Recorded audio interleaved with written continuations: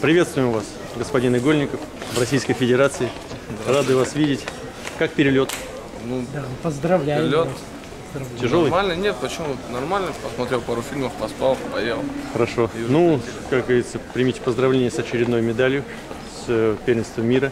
Она для вас уже э, третья, да? Нет, первенство мира вторая медаль. А, вторая. Значит, у вас была золотая медаль 66 килограмм и, Бронза. и бронза сегодняшнего дня. Э, Ну, так сложилось, что так многие говорят, что ты один из титулованнейших кадетов Российской Федерации в дзюдо, да? Четыре чемпионата Европы, две медали с Три. первен- Три, три, извиняюсь, три, Первенства да, первенства Европы, две медали с первенства мира. Э, Однако вот ситуация так сложилась, что тебе не удалось как бы второй раз стать чем- чемпионом мира. С чем ты связываешь вот эту ситуацию? Можно ли это отнести к судейским каким-то недочетам в связи с новыми правилами, да, которые сейчас введены, или это просто чисто твоя какая-то тактическая ошибка Да нет, была? ну как бы там э, получилось так, что много факторов небольших сложились и ну там, то есть э, чуть получилось того, чуть того и, к сожалению, бронза.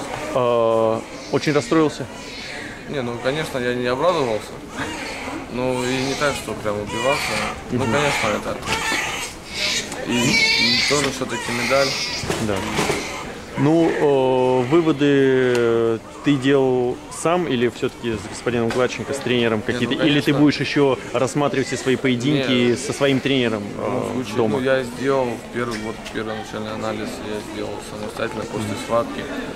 Вот, потом, естественно, сделал анализ с тренером сборной и с личным тренером и приеду и еще буду работать очень много по этому поводу, чтобы э, не повторилась в дальнейшем еще раз такая же ошибка. Ну, к слову сказать, я вот видел, э, смотрел, как ты проходил по поединкам, у тебя там все предварительные встречи, ты чисто выигрывал иконами буквально там в течение первой минуты, э, что напротив твой соперник, да, канадский дзюдоист, в основном все поединки выиграл Уважаемые э, пассажиры, за счет замечаний. 10 минут Но это судейская ситуация, да, мы ее рассматривать не будем сегодня. А комфортабельный автобус. если бы сейчас у тебя была возможность переиграть вот поединок, авиабилет финальный, или распечатанную маршрутную э, ты бы по-другому себя повел, ты бы как-то, не 15 знаю, не стал бы осторожничать, сразу бы автобус э, ведут я указатели просто на оранжевом на фоне не с надписью а «Шаттл к терминалам Б, С». Только для авиапассажиров.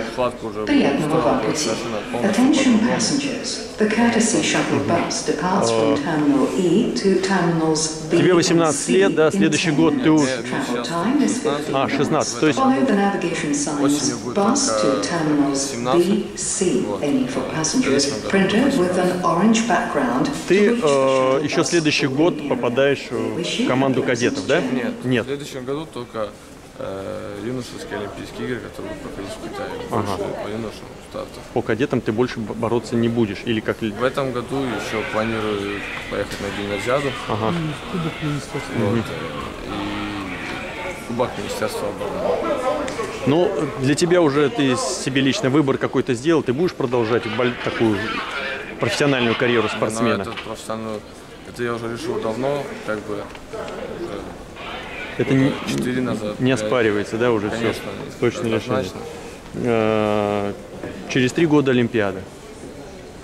Думаешь об этом? Хочешь Об поучаствовать, этом попасть? думают все, мне кажется, об этом думают каждый Ну как ты в себе э, такие чувствуешь силы все-таки попробовать попасть в олимпийскую команду? Конечно, ну, э, если так прям говорить конкретно, это пока что очень тяжело и на грани, п- пока что на грани того, что ну, нереально, но буду стараться тренироваться на том, чтобы это все перевести в реальность. Э, Что или кто тебе помогает для достижения твоих целей? Поддерживает тебя семья, тренеры, друзья? Можешь немножко сказать Нет, об этом? конечно. Ну, кто вдохновляет? в первую очередь тренер, это прежде всего вообще залог всех моих побед, это тренер. Вот. Родители также, естественно, всегда помогают, рады, друзья всегда поддерживают трудную минуту. Что еще нужно для победы? Скажи мне, пожалуйста, так, еще последние два вопроса, быстрых. Значит, э, твоя заветная спортивная мечта, твоя за- заветная жизненная мечта. Тяжело. Ну, спортивная мечта, как бы хотелось бы выиграть, естественно, э, те старты, которые существуют на сегодняшний день. А жизненная мечта? Э, Жизненная мечта. Не определился еще? Нет, почему определился стать хорошим человеком и чтобы жить в достатке, а все остальное, думаю, уже придет. Ну и для такого, для, для развлечения, анекдот свеженький, расскажи нам. Свеженький анекдот. Ну, ты ле- летел ну, 20 лучше часов. Тему подать, а я вам уже что-нибудь расскажу. Ну, какой-нибудь, ты 20 часов летел, анекдот не рассказывали? я, я фильмы смотрел. А, хорошо. А, какую-нибудь тему. Просто я, ну, я люблю сам анекдоты, но так тяжело сказать. Ну, давай тему про туристов.